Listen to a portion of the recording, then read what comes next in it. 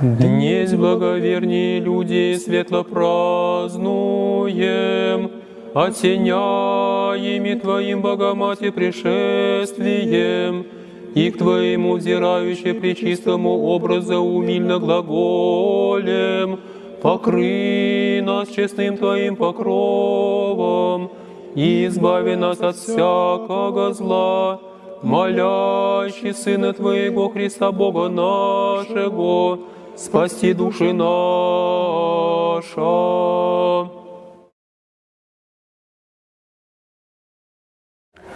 Дева днес предстоит церкви, и с лики святых невидимо заны молится Богу.